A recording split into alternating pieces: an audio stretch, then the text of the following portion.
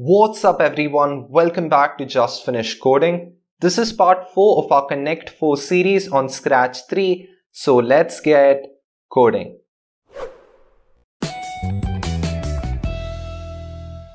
Just finished coding.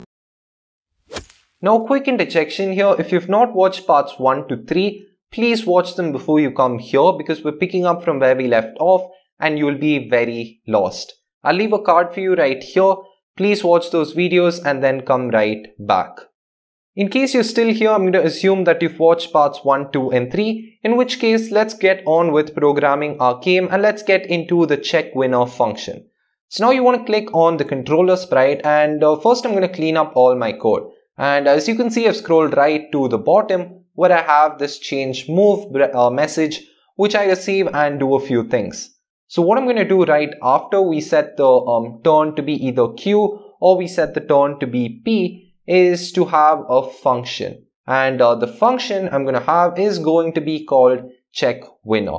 And this is obviously going to check whether that player has won or not. So what I'm going to do is to have uh, check winner uh, broadcasted right there. And you can see we have a defined check winner, which I'm going to do below.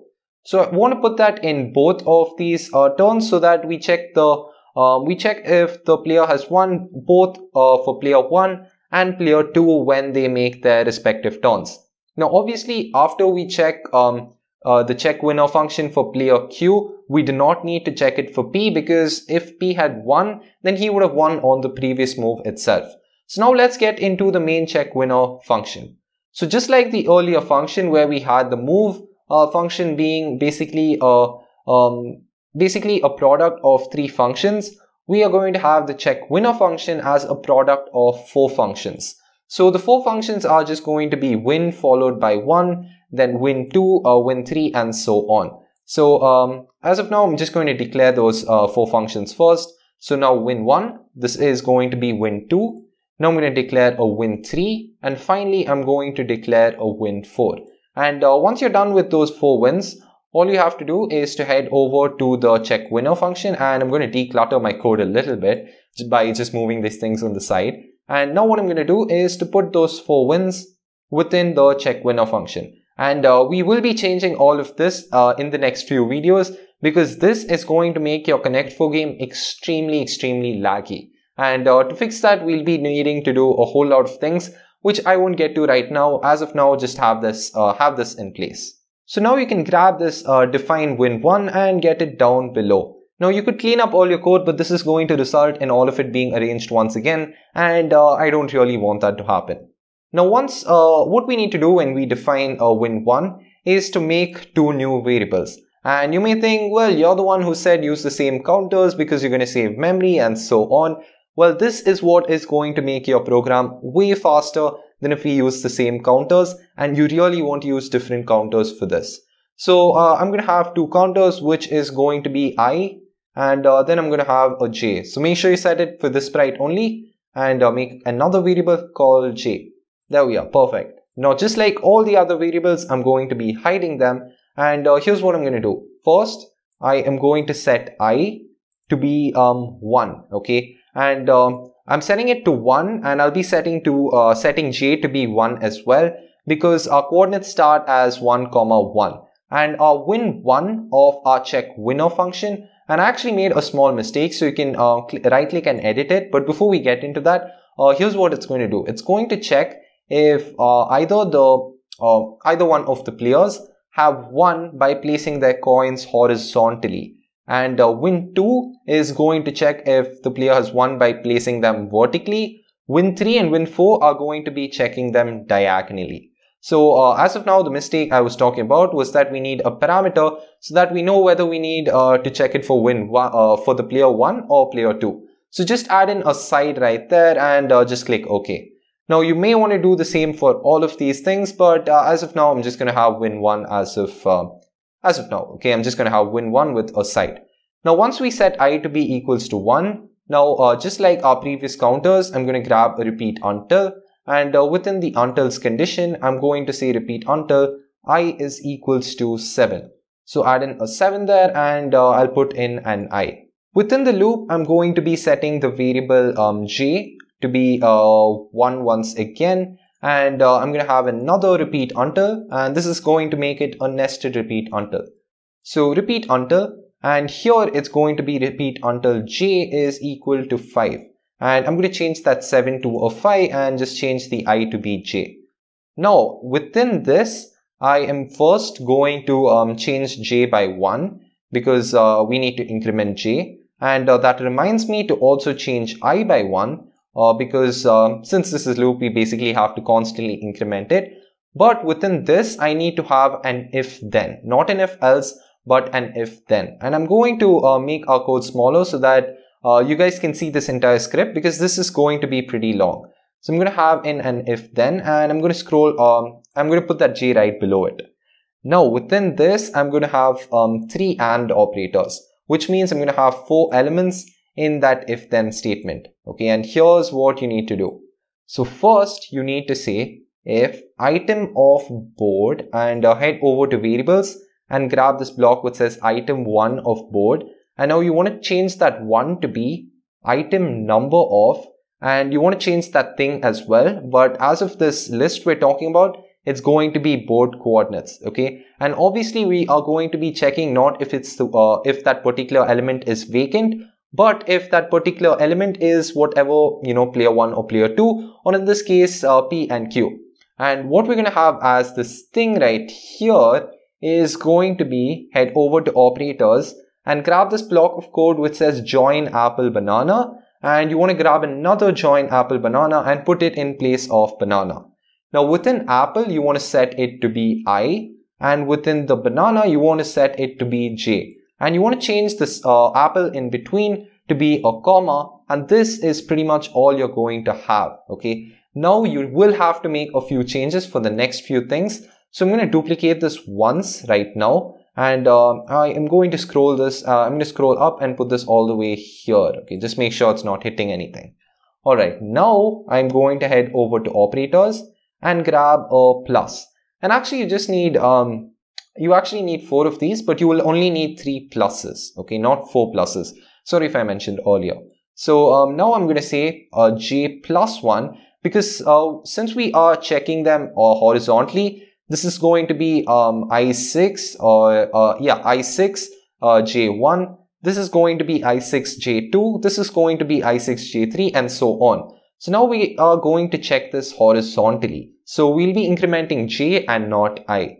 So now I'm going to say j plus 1. I'm going to duplicate this once more and say j plus 2. Now I'm going to duplicate this once more and say j plus 3. And uh, finally, I'm going to duplicate this once more. But actually, uh, never mind. We just uh, we just want three of these because j is going to be the first one. Uh, I'm also going to fill in each of these ands with an equal to and uh, this is pretty necessary as this is what is going to enable us to have a condition checker.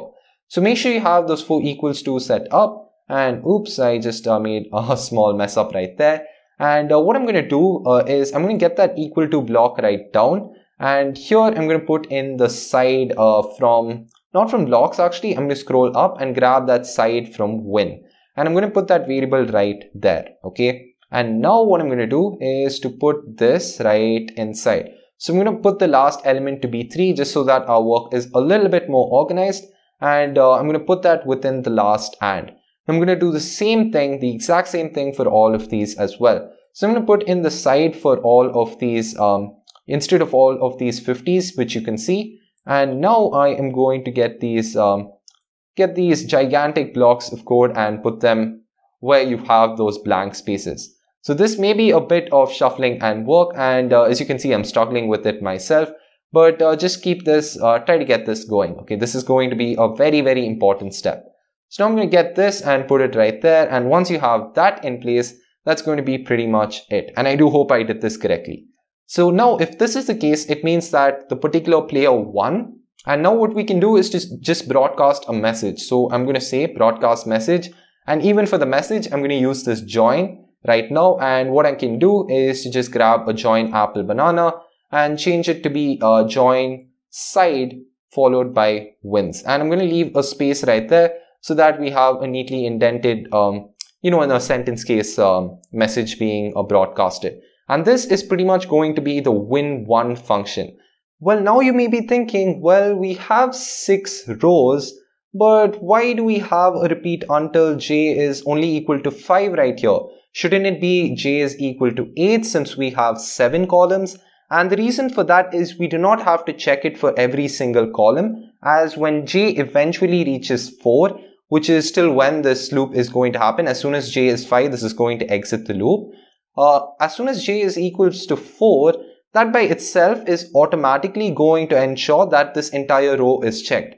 So we do not have to go through every single column to actually check whether the row has, you know, four coins of the same type in it. I do hope that makes sense. And uh, we will be applying a very, very similar thing to, uh, to the win2 function as well.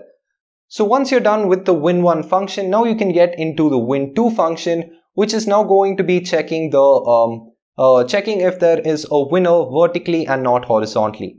So I'm going to grab the win2 and edit it just like we did it for win1 and I'm going to change that input to be side and then click OK. Now very very similar stuff to win1 uh, but we're going to have a few differences. So now what I'm going to do is to make um, two more variables okay and this is going to be we had ij so we'll have k and l. So now once again we'll set it for the sprite only and uh, I'm going to now set a variable called l and uh, set it for the sprite only as well. Now you can um, remove those two from uh, showing in the state since we don't really need them. And what you can do is actually just duplicate this entire um, function. And now what you can do is to make a few modifications. First of all, we are going to be setting k uh, uh, to be 1 and then we will be setting l to be 1 inside the loop. Now, unlike the um, previous function, uh, here we're going to have repeat until uh, l, uh, actually k I think, yeah, repeat until k is not equal to 7 but 8 because we have 7 columns and uh, this is going to ensure that we exit this loop when k is equal to 8. Now what I'm going to do is to scroll down below and uh, I'm going to change this j to be um, uh, L I think yeah change it to be L and uh, I'm going to repeat only till that is 4 because thinking about it as soon as we have the third column which has that particular coin it automatically means that all the columns below it will have to be filled with the coin. And if you're in the um, fourth column, there is really no point in checking because it's impossible to win since there are only two more columns below it. So now you want to change these two variables as well to be the correct ones. So I'm going to set this to be L and uh, this one to be K. Perfect. Now I have to change all of these variables. So I'm going to set this to be k and obviously these uh, I'm getting a bit confused with these variables but just stay tuned. Now what I can do is to change this first of all to be a k and this as an L but now I'm going to change this. I'm going to make the x um, you know the coordinates in the x-axis now the counter is k and L but I'm going to make k to be plus 1 and I'm going to put in L just like that. Now I'm going to scroll to my right once again and do the exact same thing. I'm going to change this to be a k and I'm going to put that in instead of a j. Uh, and I'm going to put the plus 2 right there and I'm going to change uh, the j to be an L. Now what I'm going to do is to change this i to be a, a k and I'm going to change the j to be an L and once again I'm going to change these two um, things a bit. So I'm going to put the k in uh, where the L was and I'm going to put the k back to where it was but this time with the plus 3 operator. And this is pretty much it. This will ensure that you have a, a win2 function that is going to check if the win is happening horizontally regardless of the player since we have a parameter which we can specify at the time of the execution of this function. And that's pretty much it. I know this was a pretty short video and you probably expected more, but stay tuned because we are just a few more steps away. So for example, we just have the win3 and win4 functions before we get into speeding up the program and finally the end screens. So we will be finishing off Connect 4 in, I believe, one or two more parts maximum. And that's what we'll be doing in this video. If you've enjoyed this video, please make sure you leave a like and also don't forget to subscribe and turn on the notification bell. Thank you so much for watching and I'll see you in the next video.